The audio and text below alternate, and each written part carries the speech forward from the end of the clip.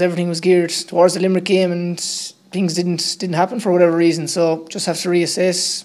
Gone again, working hard, and I think that's all you can do. It's very disappointing at the time, and Tipp supporters will definitely let you know about it. It's the old rivalry there, and I suppose Kilkenny being the benchmark, it's where uh, every other team in the country wants to get to. You know, you want to, you train to get to stages where you can play the likes of Kilkenny, and uh, you know, it's the ultimate challenge playing Kilkenny and uh, you know that's what that's what you train for really for days like that. We definitely wouldn't fear Kilkenny, but at the same time they're an excellent outfit. I think it'd be a great tie this early in the year. A lot of the time we can you can get hung up on opposition, but I think for ourselves now maybe we just concentrate on ourselves. Put these guys up on a pedestal and you think they're they're way way way ahead of the pace. Now you know they're only human at the end of the day. They they make mistakes and you know any advice really I'd be telling everyone just go for it and give it a you know drop the hammer and just go for it like there's belief in the panel anyway, and you know, looking back as far as uh, 2010 isn't going to change what happens in 2013.